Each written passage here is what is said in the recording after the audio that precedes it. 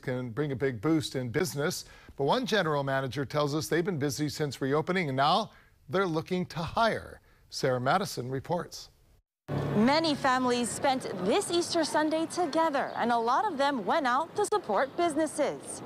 SALT at Our Kaka'ako held a weekend-long holiday-themed event that drew many folks in and opened opportunities for restaurants and stores. I think helps because we have a lot of people visiting Saturday and Sunday, and it was pretty busy at the beginning, you know, in the morning. Sea Life Park also held its own scavenger hunt for the kids. We did a very soft Easter event uh, this year. Normally it's much bigger, but because of the concern about crowds, we kept it a very small, intimate event. Nonetheless, many were excited to be out, even the adults. We're glad that we're here today to show them and give them the experience of Sea Life Park.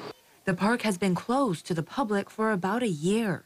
It has been 354 days since uh, March 17 was the day we closed, and we reopened on March 6. While Sea Life Park is currently running three days a week as opposed to seven like before, they've been very busy.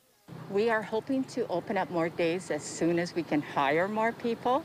That's been our biggest challenge. Uh, we have brought back many of our furloughed employees, but we are looking for more employees. King says it's a great problem to have and is excited about the tremendous public support from those who have missed the park.